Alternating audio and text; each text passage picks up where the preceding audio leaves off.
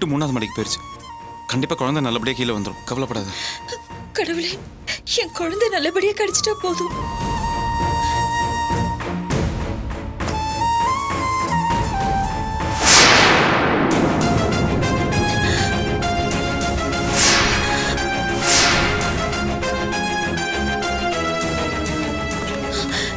என்னங்க இது குழந்தைய காணோம்?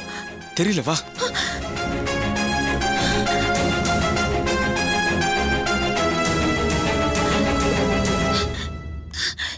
இது? இங்கேயும் குழந்தைய காணோம். அதான் எனக்கும் ஒன்றும் புரியலையே. வெச்ச பணம் வேற அப்படியே இருக்குது. எங்க போயிட்டாங்க?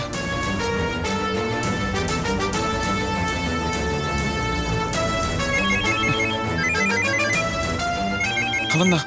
ஹலோ குழந்தை என்னாச்சு? நீ ஏன் பணத்தை எடுத்துக்கல. போலீஸ் போகக்கூடாதுன்னு உன்ட்ட எச்சரிக்கை பண்ணியிருந்தோம். என்ன தைரியம் தான் நீ போலீஸ் போயிருப்ப. இல்லையே நான் போலீஸ்க்கு போவே இல்லையே. நீ தயவு செய்து பணத்தை எடுத்துட்டு குழந்தை கொடு. போலீஸ்க்கு போகலையா? அப்புறம் எப்படி இங்க போலீஸ் வந்திருக்கு? போலீஸ் இங்க வந்திருக்கா? இல்லையே நீ போலீஸ் இங்க யாருமே இல்ல. இது பாரு நான் போலீஸ் யாரும் கூப்பிடவே இல்லை. நீ தயவு செய்து குழந்தைய கொடுத்துறேன் நான் உனக்கு கெஞ்சி கேட்டுக்கிறேன். என்ன கதை விடுறியா? உன் இடது பக்கம் தெரியும் பாரு. மஃப்டியில் ரெண்டு போலீஸ் நிக்கிறாங்க.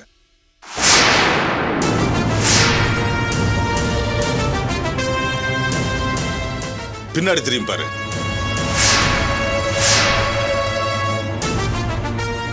என்ன பிடிக்கிறதுக்காக நீ போலீஸோட வந்திருக்கன்னு எனக்கு தெரிஞ்சு போச்சு. உனக்கு குழந்தை மேல அக்கறை இல்ல. அது ஒண்ணும் உன் குழந்தை இல்லையே. அதனாலதான் என் எச்சரிக்கை நீ மீறிட்ட. இல்ல இல்ல இங்க பார் நான் சத்தியமா சொல்றேன். போலீஸை நான் வர சொல்ல அவங்க எப்படி வந்தாங்கன்னு எனக்கு தெரியாது. இங்க பார் நீ தயவு செய்து பணத்தை எடுத்துட்டு குழந்தைய கொடுத்துறேன் நான் உனக்கு கெஞ்சி கேட்டுக்கிறேன். எப்ப என் பேச்சை நீ கேட்கலையோ இனி அந்த குழந்தை உனக்கு உயிரோட கிடைக்காது. அதனால குழந்தைய பீஸ் பீஸ் ஆக்கி குழந்தையோட அம்மா பிரியாவுக்கு பார்சல் அனுப்புறேன். அங்க போய் விசாரிச்சுக்க. Hello hello. என்னங்க ஆச்சு? என்ன சொன்னா? ஒண்ணும் இல்ல நீ வா. என்னாச்சுன்னு சொல்லுங்க. எனக்கு நில்லுங்க. எனக்கு வா.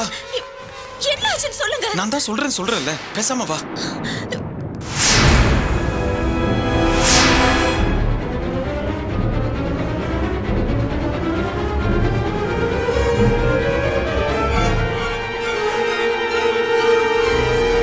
தம்பி வேலை இல்லைங்கிறதுக்காக கண்மூடித்தனமா ஏதாவது ஒரு வேலையில போய் சேர்ந்தா இப்படிதான் சிக்கல்ல மாட்டிப்ப. இனிமேலாவது வேலைக்கு சேரும்போது அந்த கம்பெனியை பத்தி நல்லா விசாரிச்சுட்டு அதுக்கப்புறம் வேலையில சேரு. Okay sir. ஏதோ உன் பொண்டாட்டி நகை வச்சிருந்ததால பணத்தை ரெடி பண்ணி கொடுத்துச்சு. இல்லைன்னு நீ கம்பியில நீ இருக்கணும். சார் நாங்க பறி கொடுத்த பணம் எப்ப சார் கிடைக்கும்? ஏதாவது தகவல் தெரிஞ்சதுங்களா? இப்பதானமா நான் டிரான்ஸ்ஃபர் ஆகி வந்திருக்கேன். இன்னும் பழைய கேஸ்லாம் நான் பார்க்கல. கண்டிப்பா அதை கூடிய சீக்கிரம் கண்டுபிடிக்க ஏற்பாடு பண்றேன். தம்பி இதுல ஒரு கையெழுத்து போட்டு நீங்க கிளம்புங்க. போடுபா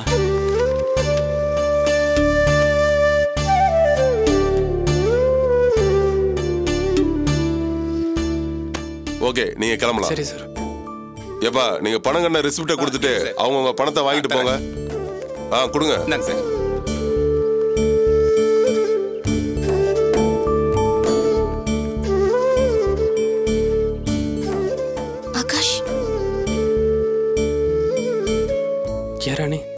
எல்லா நகையும் வித்துட்டியா? இல்ல அடகுதான் வச்சிருக்கோம். காதல இருக்க தோட்டையாவது விட்டு வைக்கலான்னு பார்த்தேன். ஆனா கடைசியில ஒரு பத்தாயிரம் ரூபாய் தேவைப்பட்டது. எங்க பத்தாயிரம் ரூபாய் குறைச்சலா கொடுத்தா உங்களை வெளியில விட மாட்டாங்களோன்ற பயத்துல தோட்டையும் அடகு வச்சுட்டேன். நான் கூட என் நகையை கொடுக்கறேன்னு தான் சொன்னேன் ஆகாஷ். அம்மாவும் அவங்க நகையை கொடுக்கறேன்னு தான் சொன்னாங்க. ஆனா உன் பொண்டாட்டி தான் எனக்கு என் நகையை விட புருஷன் தான் முக்கியம். என் நகையே போதும். உங்க நகையில வேண்டான்னு சொல்லிட்டா.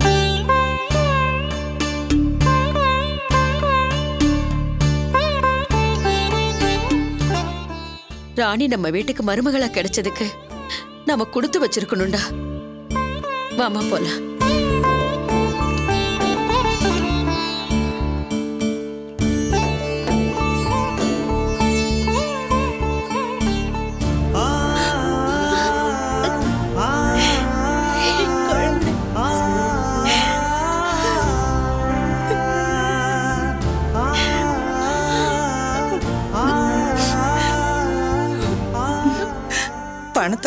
குழந்தைய மீட்டுட்டு வரேன்னு மாப்பிள்ளை சொல்லிட்டு போனாரு. இது வரைக்கும் எந்த தகவலும் இல்லையே. என்னாச்சோ ஏதாச்சும் தெரியல. கடவுளே குழந்தைக்கு எந்த பிரச்சனையும் இல்லாம நல்லபடியா வீட்டுக்கு கூட்டிட்டு வந்துடணும்ப்பா. குழந்தை விஷயத்துல இப்படி ஒரு நிலைமை வர்றதுக்கு காரணமே நீதான். என்னங்க சொல்றீங்க? இந்த விஷயத்துல மட்டும் இல்ல எந்த விஷயமா இருந்தாலும் சரி முன்பின் யோசிக்காம அவசரப்பட்டு முடிவெடுத்து அதுக்கப்புறம் அழுது புலம்புறதே உனக்கு வேலையா போச்சு. அந்த தீனா குழந்தைய பற்றி பேசுறதுக்கு வீட்டுக்கு வந்தபோது என்ன இருந்தாலும் குழந்தைக்கு அவன் தான் அப்பன்னு சொல்லி அவனை சமாதானப்படுத்தி நாங்கள் பதில் சொல்கிறோம் அப்படின்னு சொல்லி அனுப்பிச்சு வச்சேன். ஆனால் நீ உன் மகன் பிரியா மூணு பேரும் குழந்தை தாய்கிட்ட தான் வளரணும்னு சட்டம் பேசினீங்க. என்னாலே அவனுக்கு பதில் சொல்ல முடியல. அதனால் ஆம்பளை இல்லாத நேரம் பார்த்து வீடு புகுந்து குழந்தைய தூக்கிட்டு போயிட்டான். நல்ல வேளை. அந்த நேரம் வினோத் வீட்டில் இல்லை. இருந்திருந்தான்னா அவன் முரட்டுத்தனத்துக்கு இன்னும் இந்த விஷயம் சிக்கல்ல தான் போய் முடிஞ்சிருக்கும். நடந்ததை பத்தி பேசி என்னப்பா பிரயோஜனம்? எனக்கு என் குழந்தை வேணும். என் குழந்தை எனக்கு கடை பண்ண மாட்டேனா? பிரியா அழாதம்மா. அதான் மாப்பிள்ளை பணத்தை கொடுத்து எப்படியாவது குழந்தைய வாங்கிட்டு வந்துடுறேன்னு சொல்லியிருக்காருல்ல. கண்டிப்பா வாங்கிட்டு வந்துருவாருமா? ஆமா பிரியா. செல்வம் கண்டிப்பா குழந்தைய எப்படியாவது மீட்டு கொண்டு வந்துருவாரு. நீ அழாத. அழாதரா கண்ணு. மாப்பிள்ளை எப்படி இருந்தாலும் குழந்தைய கூட்டிட்டு வந்துருவாரு. அழதம்மா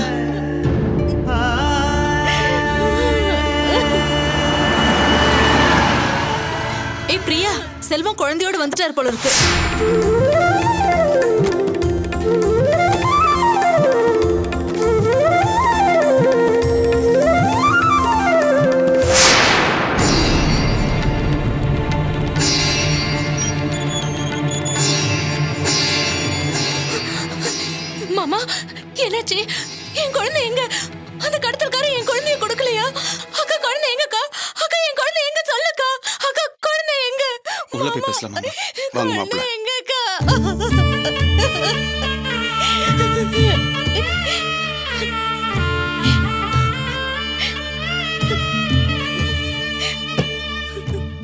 என்னாச்சு மாப்பிள்ள பணத்தை கொடுத்து குழந்தைய மீட்டுட்டு வரேன்னு சொன்னீங்க. குழந்தைய காணோம். எங்க? என்னக்கா நீங்க பேசாம இருக்கிறத பார்த்தா எனக்கு பயமா இருக்கு. குழந்தை என்னக்கா ஆச்சு? அது வந்து மாமா பார்சல் ஏதாவது வந்துச்சா? பார்சலா? என்ன பார்சல் மாப்பிள்ளை அது வந்து மாமா கடத்தல்காரங்க எங்களை வர சொன்ன இடத்துக்கு நாங்களும் அஞ்சு லட்ச ரூபாய் பணத்தை எடுத்துட்டு போனோம். ஆனால் எங்களுக்கே தெரியாம கடத்தல்காரங்களை பிடிக்கணுங்கிறதுக்காக போலீஸ் எங்களை பின்தொடர்ந்து வந்திருக்காங்க. இந்த விஷயத்தை தெரிஞ்சுக்கிட்ட கடத்தல்காரன் மறுபடியும் எனக்கு ஃபோன் பண்ணி நான் நான் தான் போலீஸை வர சொன்னதாக நினச்சிக்கிட்டு போலீஸை வர சொன்னதுக்காக தண்டனையா தண்டனையா குழந்தைய பார்சல் பண்ணி அனுப்புறேன்னு சொன்னாங்க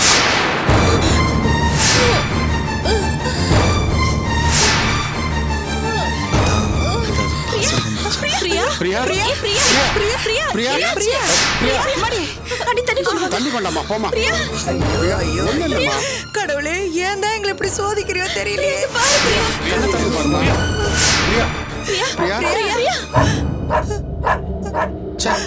என்ன நான் இப்படி குறைச்சுக்கிட்டு இருக்கேன் அம்மாடி. பிரியா? பிரியா? பிரியா? அம்மாடி. பிரியா? கண்ணு பிடிச்சு பாருமா அம்மாடி. பிரியா? பிரியா? பிரியா? அர்ச்சனா என்னம்மா அது?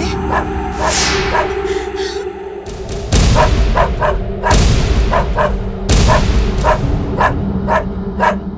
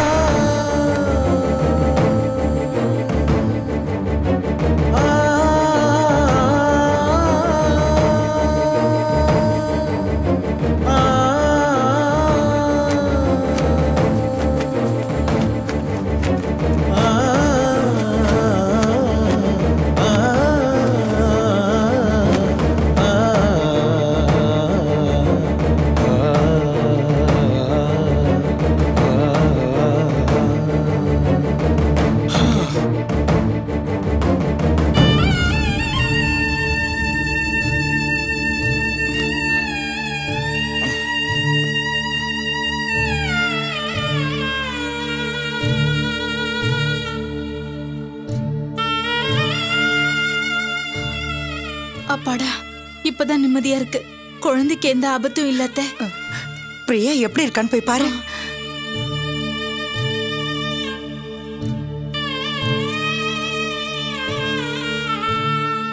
பாத்தீங்களா மாப்பிள்ள? கடத்தல்காரங்க அப்படிதான் மிரட்டுவாங்க. அவங்களுக்கு பணம் தான் முக்கியம். ஒன்றும் பண்ண மாட்டாங்க.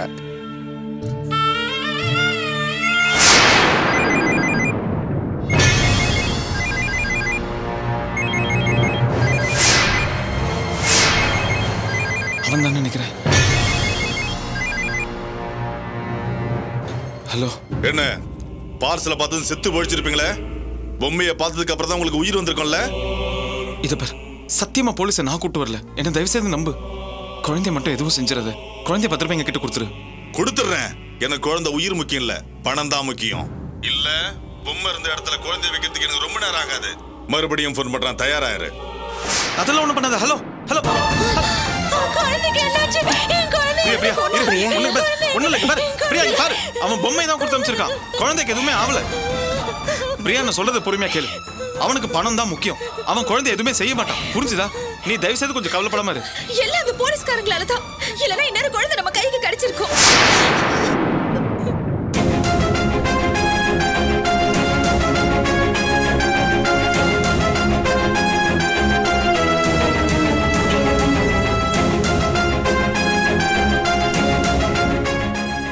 பாத்தீங்களா சார் ஏதோ எங்களுக்கு உதவி பண்றதா நினைச்சுக்கிட்டு எங்களுக்கே தெரியாம எங்களை கண்காணிச்சிட்டு வந்தீங்க.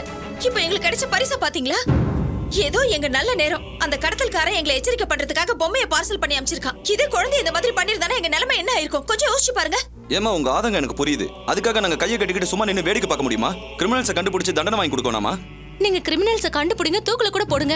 அதுக்காக எங்க குழந்தை உயிரோட விளையாடாதீங்க சார் ப்ளீஸ் என்னம்மா படிச்ச பொண்ணா இருந்துட்டு நீங்களே இப்படி பேசுறீங்க? செல்வம் கொஞ்சம் எடுத்து சொல்லுங்க செல்வம். சார் நீங்க தயவு செய்து தப்பா எடுத்துக்காதீங்க சார் உங்க கடமையில நாங்க குறுக்கிறோம்னு நினைச்சுக்காதீங்க. இந்த விஷயத்தை நீங்க அறிவுபூர்வமா அணுக பாக்குறீங்க ஆனா நாங்க உணர்வுபூர்வமா பாக்குறோம். எங்களுக்கு எங்க குழந்தை தான் சார் முக்கியம். அது மட்டும் இல்லைங்க. நீங்க ஏதாவது செய்ய போக எங்க குழந்தை உயிருக்கு ஏதாவது ஆபத்து வந்துருச்சுன்னா அதுக்கு தாங்க சொல்றோம். பாத்தீங்களா சார்? இப்போவாத நான் சொல்றத கொஞ்சம் கேளுங்க. குழந்தை காணாம போனதுக்கும் எனக்கும் என்ன சம்மந்தமும் இல்ல. யாரோ பணத்துக்கு ஆசைப்பட்டு தான் குழந்தைய கடத்திருக்காங்க அது யாருன்னு கண்டுபிடிச்சு சீக்கிரம் குழந்தைய காப்பாத்துங்க. பணக்கார வீட்டு குழந்தைங்களை கடத்தி வச்சு தான் பணத்துக்கு மிரட்டுவாங்க. அப்படி பார்த்தா இந்த தீனாவும் ஒரு வகையில் பணக்காரன் தான் இப்போ அவன் எங்க கஸ்டடியில் இருக்கான்? அவன்கிட்ட பணம் கேட்டு மிரட்டாம உங்ககிட்ட கேட்டு மிரட்டிருக்காங்கன்னா நீங்க என்ன பணக்காரரா? தொழில் கொஞ்சம் நல்லா போயிட்டு இருக்கிறதுனால என்கிட்ட இப்போ பணம் இருக்கு சார்.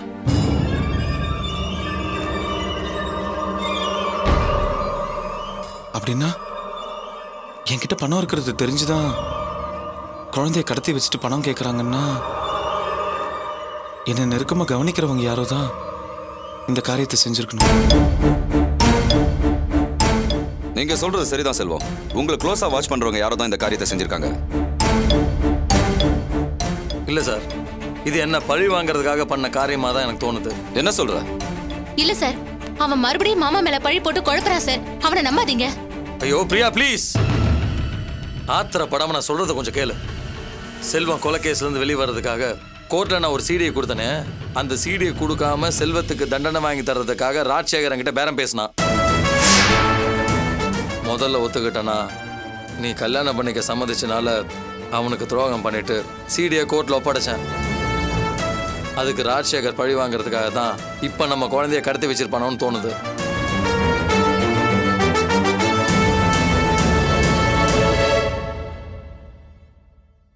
ஆமா சார். ஒருவேளை ராஜசேகர் கூட இந்த விஷயத்தை செஞ்சிருக்கலாம். என்ன செல்வம் சொல்றீங்க?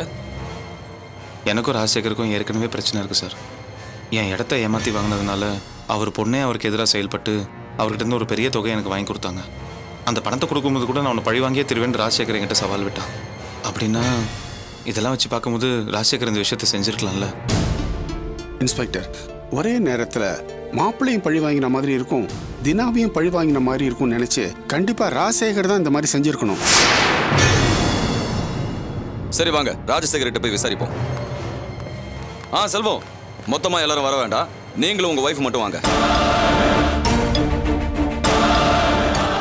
சரி மாமா அப்போ நானும் அர்ச்சனா மட்டும் போயிட்டு வந்துடும் நீங்கள் மற்றவங்களாம் கூப்பிட்டு வீட்டுக்கு போங்க. சரி மாப்பிள்ள. வாங்க போலாம். வாங்க.